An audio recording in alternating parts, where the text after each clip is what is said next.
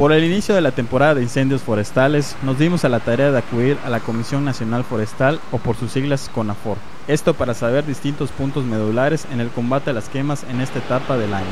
Para esta temporada la entidad contará con 23.5 millones de pesos para la detección, prevención y combate del fuego, en el que se tendrán a disposición recursos financieros, materiales y humanos, los cuales se tendrán en conjunto con los tres niveles de gobierno. El estado de Campeche contará con seis campamentos temporales en las áreas críticas, como son los municipios de Selchacán, Candelaria, Carmen, Escárcega, Calakmul y Jopelchen. Su titular, ingeniero Antonio Álvarez Torres, nos habla sobre los campamentos para el combate de esta temporada. Cada, cada campamento, se, me olvidaba, cada campamento tiene, tiene, tiene cinco brigadistas, cuatro brigadistas de la, de con, un jefe de brigada y tiene, tiene 15 brigadistas contratados por el gobierno del estado. Entonces estamos hablando de 90 efectivos del de, gobierno del estado, con 90 brigadistas que se contratan también de marzo a junio y, los brigadistas de, la que son 30.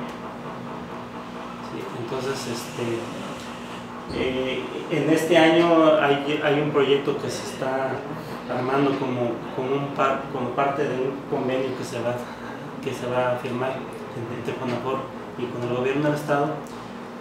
Hay un convenio en contratar 120 brigadistas más que se van a distribuir dentro de campamentos.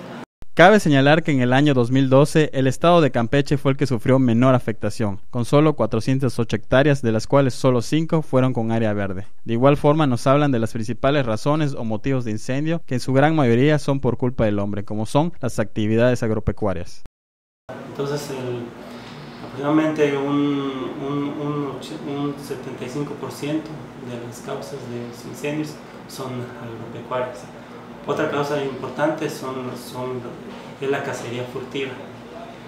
Los cazadores furtivos, este, por pocos entran con, permiso, este, acostumbran a, quemar el monte para que brote hierba o, o zacate nuevo, que, es a donde van a llegar los, los animales o la vida silvestre, la, la fauna silvestre a alimentarse. Pues ahí es donde los esperan ellos para cazarlos. Entonces esas son las dos causas. Para esta y más información visita www.infomedia.mx.